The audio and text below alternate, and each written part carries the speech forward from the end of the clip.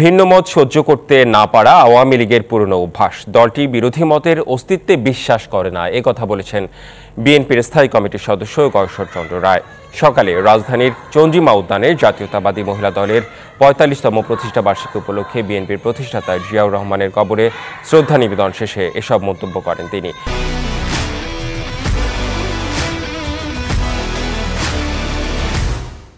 বলেন, আওয়ামী লীগের পতন ছাড়া দেশে গণতন্ত্র পুনরুদ্ধার সম্ভব নয়, সেই পতনের লক্ষ্যেই লড়াই করছে বিএনপি।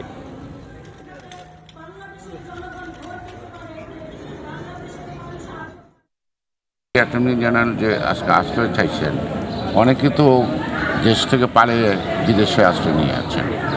সুতরাং এটা নিন্দা করেও লাভ নাই। এটা আমাদেরকে কি করতে হবে? এক পতন ঘটাতে হবে একটা গণতান্ত্রিক সংস্কৃতি গড়ে তুলতে হবে। সেই লড়াইটাই কিন্তু এখন আমরা করছি।